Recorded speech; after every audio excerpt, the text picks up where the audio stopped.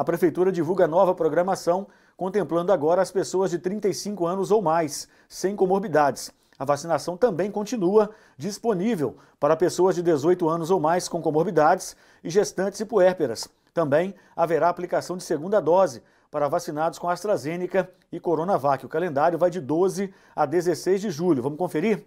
Hoje, de 8 às 15 horas, lá no Horto Florestal. Primeira dose de pessoas com 39 anos completos ou mais. Primeira dose de pessoas de 18 anos ou mais com comorbidades.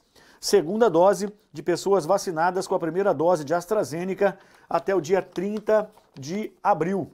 Amanhã, terça-feira, de 8 às 15 horas, no Horto Florestal. Primeira dose de pessoas com 38 anos completos ou mais. Primeira dose de pessoas de 18 anos ou mais com comorbidades. Segunda dose de pessoas vacinadas com a primeira dose de AstraZeneca até 30 de abril.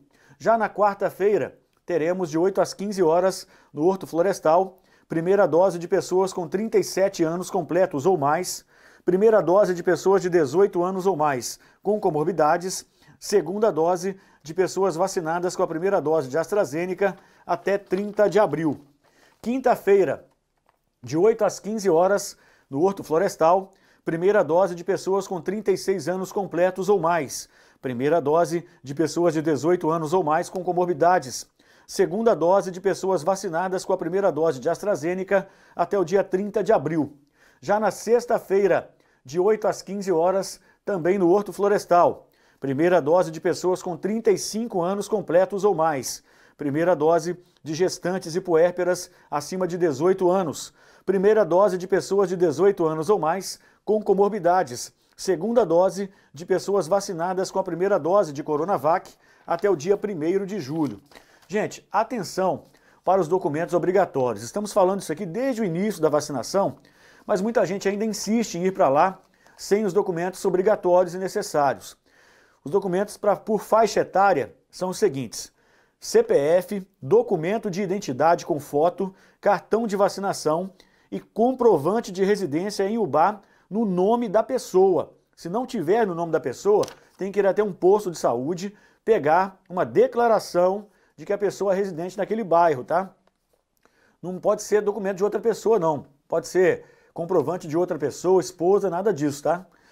Documentos obrigatórios para pessoas com comorbidades: cartão de vacinação, CPF, documento de identidade com foto, comprovante de residência em UBA no nome da pessoa a ser vacinada, ou declaração de residência em UBA da ESF a qual pertence, ou declaração da policlínica para áreas descobertas, laudo médico comprovando a comorbidade e receita médica já utilizada, emitida nos últimos seis meses, comprovando o uso dos medicamentos.